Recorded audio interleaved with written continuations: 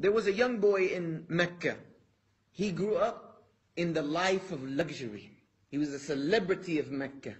He was one of the most handsome men of Mecca. He came from a prestigious family. His name was Mus'ab ibn Umair radiallahu anh. When Mus'ab ibn Umair got word that Muhammad sallallahu alayhi wasallam was preaching a new message and he was this, that, and the third, Mus'ab ibn Umair also remembered that this was the same man whom is referred to as Al-Amin, honest, righteous, upright people in Mecca. So when these words came to him, he didn't jump on the bandwagon and say, yes, we, I agree with all this. No, he said, I'm not going to judge without having spoken to him myself. And this was at a time when the Prophet ﷺ had no outward mission. He was in hiding, they were in secret. He was meeting his very few companions and believers in a house known as Darul Arqam. So Mus'ab found out that this is where the Prophet ﷺ was teaching. So he went one night and he knocked on the door. And someone said, O Messenger of Allah, sallallahu it's Mus'ab ibn Umair. And the Prophet was happy, he was pleased. Say, yes, let him in. He always understood the value of every human being and what role they could have to play in society. When Mus'ab ibn Umair came in, he gave him the simple da'wah of Islam. Upon hearing it, Mus'ab ibn Umair radiallahu an said, Ashadu in la ilaha illallah wa ashadu anna Muhammad Rasulullah. So he told him to keep it secret and Mus'ab kept it a secret. And he kept coming and meeting the Prophet ﷺ at the house of Arqam. But in the city of Mecca there were spies. These spies saw Mus'ab ibn Umair going to the house of Arqam and then praying with the Prophet. They realized he's a Muslim. So they went to Mus'ab's mother and they told him, do you know that your own son has submitted and become a Muslim? She was shocked, she couldn't believe it. So she confronted him. And he said, yes, I've become a Muslim. She chained him in his house and put people to watch over him. She could have chained Mus'ab in a basement of a dungeon and it wouldn't have changed anything because whomsoever Allah guides cannot be misguided. So he remained like this for a while. And then the Prophet came out on his mission publicly. You know, people turned on him, things got very hard. So the Prophet ﷺ gave some of the weakest Muslims permission to migrate to Habasha. When Mus'ab ibn Umair heard that there were Muslims who were immigrating, he tricked his mother to let him go. And he went with the Muslims in, into Habasha. And then, some time passed, word came to the Muslims of Abyssinia that Islam had taken over in Mecca. The people accepted Islam. So a group of Muslims came back. One of them who came back with them was Mus'ab ibn Umair.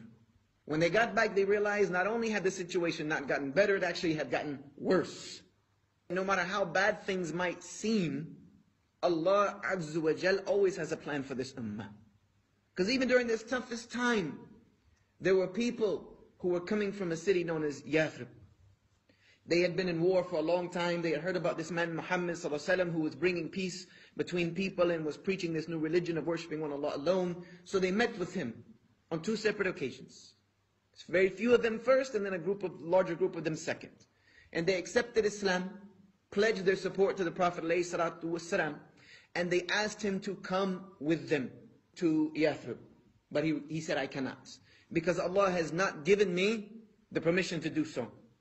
So they requested, send someone with us that can teach us Islam. So the Prophet ﷺ chose someone to send. Now, who was a Muslim at this time? Abu Bakr was a Muslim at this time. Abdurrahman ibn Auf was a Muslim. Ali ibn Abi Talib radiallahu anh was a Muslim. Some of the senior companions in knowledge were Muslim at this time. But he chose Mus'ab ibn Umair, this young boy, still in his teenage years.